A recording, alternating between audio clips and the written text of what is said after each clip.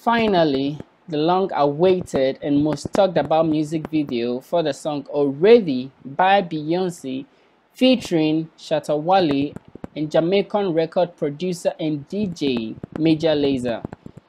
The video came out two days ago, that's the 31st of July, and it's already mobbed up 7 million views on YouTube as of today.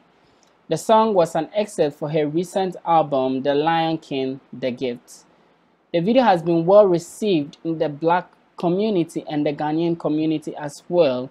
It's received positive reactions from Ghanaian artists like Sarkodie, Stonebwoy, and many more.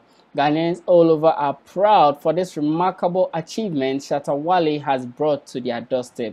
The video was part of the Black is King visual album of Beyonce. The video was shot in various locations, including Africa. And when you look at this video, it showcases the rich culture, the rich African culture. Yeah, it's the video, the visuals are stunning. The choreography, the dance, it's amazing. You you should check it out. So reading a few tweets here are some comments and reactions from twitter. God bless you Shatta Wale for putting ghana on the map. Hashtag Shatta Wale is king. For god and country it's for life. Hashtag Shatta Wale is king. Check out the link in the description below. Don't forget to like and comment and also subscribe. Thank you